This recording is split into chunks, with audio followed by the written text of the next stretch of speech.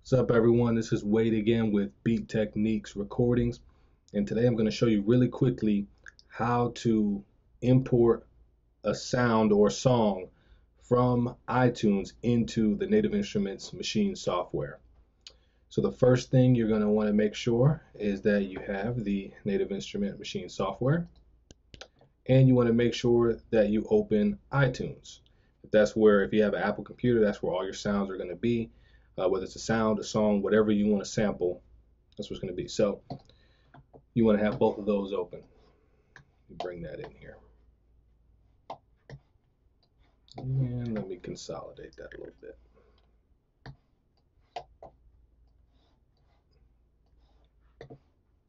All right, so I've got iTunes open and I've got Native Instruments Maschine open.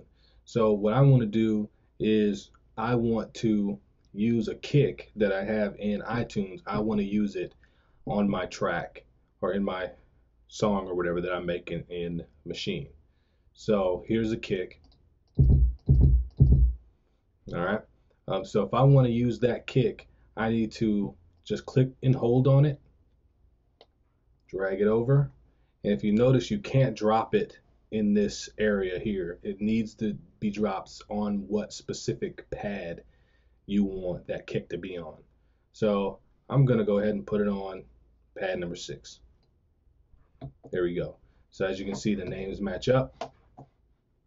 And then as I hit my Maschine, don't know if you can see my hand, but now it's being triggered by the pad. That's it. Um, things to, to make sure of is whatever you drag into Maschine needs to be in WAV format. It cannot be an MP3, an AAC, or any other file format. It needs to be in WAV.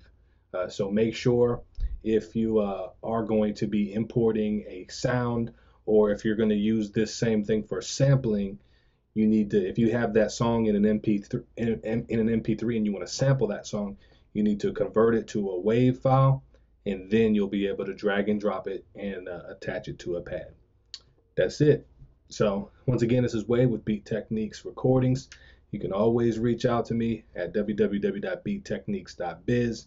Um, I'm on Instagram, search Beat Techniques underscore Rex, um, Twitter, Facebook, SoundCloud, all that.